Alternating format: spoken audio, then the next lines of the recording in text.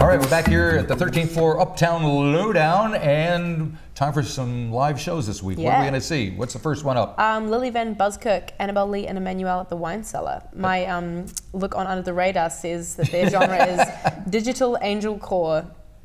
Um, and What is pop that? rock. I have no idea. but from what I checked out, it sort of, to me, sounded like quite EDM. Like digital is definitely a good way of describing it. Right. Um, sounds really interesting. All right, so that's Wednesday.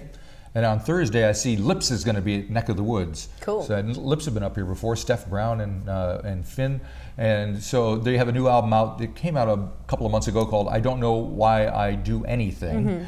Pretty relatable. and, and Steph's been busy doing all sorts of things with other people, so it'd be good to see her and and Finn doing their own thing at Neck of the Woods. Always a good show. Cool. Uh, I highly recommend it. Something else happening on Thursday. I think you're kind of excited. Yeah, Spacey Jane at the Power Station. Pumped for that one. I think our friends Park Road actually opening for them, which is such a good gig for those guys. They've been doing really well as well. Ah. But yeah, I haven't seen Spacey Jane before, but listened to a lot of their music and really excited to see Cool, them live. cool. And then Friday, Kane Strang will be at the Whammy. He has, his most recent album is called Happy to Perform, so apparently he's going to be happy to perform Yeah. for us Oh, he at the be. Whammy. and he's got quite a band with him. Uh, guy Peter Ruddell, who we've talked to before, Yeah. he's in Wax Chattels and Sulfate, so he's going to be playing keyboards there.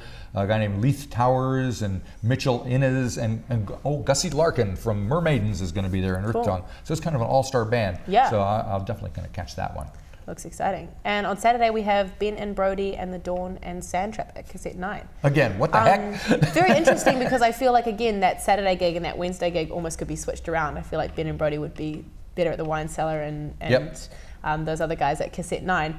Um, from what I checked out, it looks like they're a, a duo still in high school, sort of like killing it in Smoke Free Rockquest. Kind of And- imagines and a lot, lot of me when I was a kid. If. I'm not mistaken, I saw that the show starts at 7:30 I wouldn't be surprised. at Cassette Nine because they probably have to Probably be in bed to by nine. Yeah, yeah, yeah. um, but it looks like they're doing really well at what they're doing um, and playing a lot of gigs for their age. So you know, why not start early? All right, so there's some good stuff there. We'll have reviews and photos on the 13th floor once they do their thing. Yeah. The 13th floor Uptown Lowdown is brought to you in part by a grant from the New Zealand Music Commission and by the Uptown Business Association.